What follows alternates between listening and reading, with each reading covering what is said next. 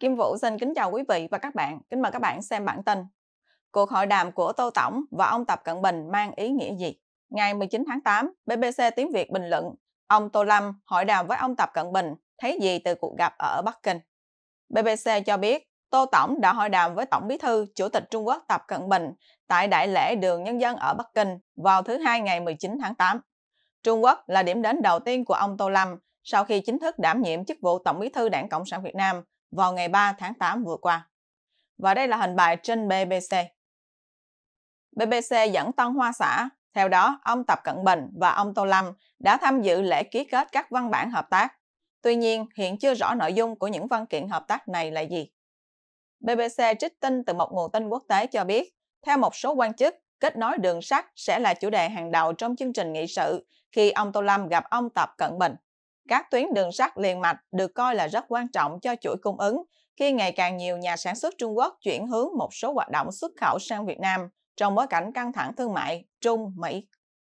Theo BBC, hiện tại hai quốc gia được kết nối bằng hai tuyến đường sắt từ miền Nam Trung Quốc đến thủ đô Hà Nội. Trung Quốc là đối tác thương mại lớn nhất cũng như thị trường nhập khẩu lớn nhất và là thị trường xuất khẩu lớn thứ hai của Việt Nam. BBC dẫn nhận định của giáo sư Vu Hướng Đông, Giám đốc Viện Việt Nam học từ Đại học Trịnh Châu, Trung Quốc, nói trên tờ Hoàn Cầu thời báo rằng ông Tô Lâm sẽ tiếp tục chiến lược cân bằng ngoại giao với Trung Quốc, Mỹ, Nga và các quốc gia khác.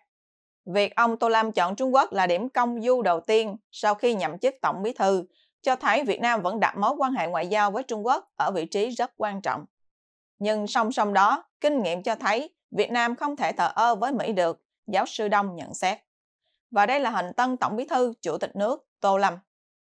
BBC dẫn nhận xét của tiến sĩ Huỳnh Tâm Sáng, nhà nghiên cứu quan hệ quốc tế từ Đài Loan cho rằng, với xuất thân công an, Tổng bí thư Tô Lâm hiểu rõ tầm quan trọng của sự ổn định nội bộ trong việc đảm bảo sự ủng hộ của nhân dân.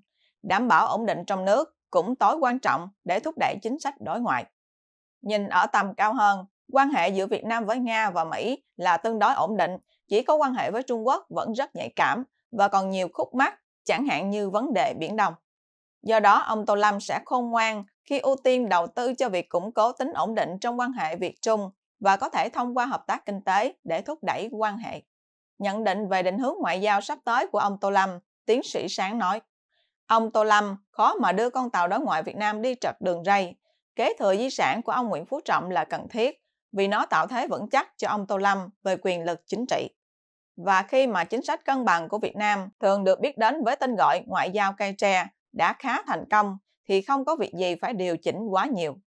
Và đây là hình Tổng bí thư, Chủ tịch nước Trung Quốc Tập Cận Bình. BBC cho biết thêm, Việt Nam khai thác tối đa lợi ích và an ninh trong lúc vẫn cân bằng quan hệ Mỹ-Trung, nhưng vẫn coi trọng giao hảo truyền thống lịch sử với Nga. BBC trích dẫn nhận định của tiến sĩ Lê Hồng Hiệp viết trên trang Foncom của Viện Nghiên cứu Đông Nam Á ở Singapore rằng ông Tô Lâm sẽ tiếp tục cân bằng quan hệ ngoại giao với các cường quốc, đặc biệt với Trung Quốc và Mỹ, và theo đuổi quan hệ thân thiện với các quốc gia quan trọng trên toàn cầu. Cách tiếp cận này hiện nay là lựa chọn chính sách ngoại giao tốt nhất cho Việt Nam, dù người đứng đầu đảng Cộng sản có là ai, tiến sĩ Hiệp viết. Quý vị và các bạn đang xem chương trình trực tiếp của Kim Vũ với bản tin Cuộc hội đàm của Tô Tổng và ông Tập Cận Bình mang ý nghĩa gì? Xin mời quý vị và các bạn chia sẻ video này cho nhiều người biết và bấm nút theo dõi trên YouTube và Facebook của Thời báo chấm để luôn được cập nhật bản tin mới nhất, nhanh nhất và trung thực nhất. Kim Vũ xin kính chào các bạn và hẹn gặp lại các bạn trong chương trình lần tới. Kim Vũ xin kính chào quý vị và các bạn. Kính mời các bạn xem bản tin. Thấy gì qua quyết định tới thăm Trung Quốc nhanh chóng của Tô Tổng khi vừa lên cương vị mới. Ngày 18 tháng 8, BBC Tiếng Việt có bài bình luận vì sao ông Tô Lâm nhanh chóng thăm Trung Quốc ngay sau khi làm Tổng Bí Thư. Theo đó, BBC cho biết sáng ngày 18 tháng 8, tân Tổng Bí Thư, Chủ tịch nước Tô Lâm và phu nhân cùng đoàn đại biểu cấp cao đã tới Quảng Đông, bắt đầu chuyến thăm cấp nhà nước tới Trung Quốc. Và đây là hình bài bình luận trên BBC. BBC cũng cho hay, thông thường, một chuyến thăm cấp nhà nước tiêu tốn thời gian lên đến vài tháng cho công tác chuẩn bị. Trước đây, Tổng Trọng và Tổng Bí thư Nông Đức Mạnh thực hiện chuyến công du nước ngoài đầu tiên, thường là sau khi nhậm chức khoảng 4 đến 9 tháng. Trong khi đó, chỉ 2 tuần sau khi được bổ nhiệm, Tô Tổng đã thăm Trung Quốc.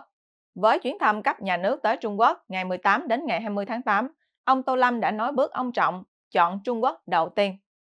BBC dẫn lời giáo sư Alexander von Wien từ Trung tâm Nghiên cứu An ninh châu Á-Thái Bình Dương thuộc Bộ Quốc phòng Hoa Kỳ nhận định rằng điều này dẫn chúng ta đến một quy tắc bất thành văn trong nghi thức đối ngoại của Việt Nam. Lãnh đạo cao nhất của Việt Nam nên đến Trung Quốc trước khi đến Hoa Kỳ. Vì vậy, chuyến thăm Trung Quốc của ông Tô Lâm là phù hợp với quy tắc bất thành văn nói trên, khi sau đó ông Tô Lâm sẽ tham dự Đại hội đồng Liên Hợp Quốc vào tháng 9 với tư cách là Chủ tịch nước Việt Nam và sẽ gặp Tổng thống Mỹ Joe Biden. Đây sẽ là cuộc gặp đầu tiên của ông Tô Lâm với Tổng thống Mỹ trên cương vị lãnh đạo cao nhất của Việt Nam. Do đó, chuyến đi Trung Quốc của ông Tô Lâm vào tháng 8 này là để trấn an Bắc Kinh về bất kỳ bước tiến triển nào trong quan hệ Việt-Mỹ, ông nhận xét. Và đây là hình tân Tổng bí thư Chủ tịch nước Tô Lâm.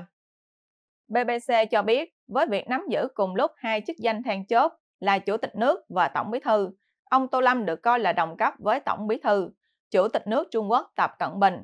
Và việc hai lãnh đạo đồng cấp sớm gặp nhau được đánh giá là bước quan trọng trong việc xây dựng mối quan hệ cá nhân hai ông cũng như phát triển quan hệ hai nước.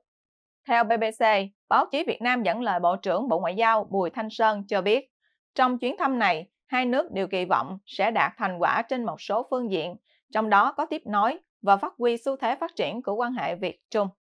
Việt Nam, Trung Quốc cũng sẽ cùng xử lý thỏa đáng những vấn đề tồn tại, kiểm soát và giải quyết tốt hơn bất đồng trên biển, không để vấn đề trên biển ảnh hưởng đến đà phát triển quan hệ hai đảng, hai nước.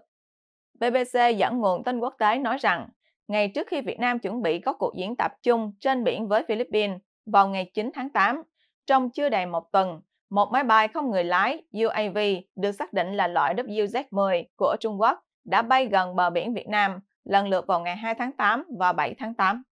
Trong quan hệ Việt-Trung, tranh chấp chủ quyền trên Biển Đông là một trong những vấn đề bất đồng nhất giữa hai nước khi Trung Quốc thực hiện chiến thuật vùng xám để củng cố yêu sách đường lưỡi bò của mình.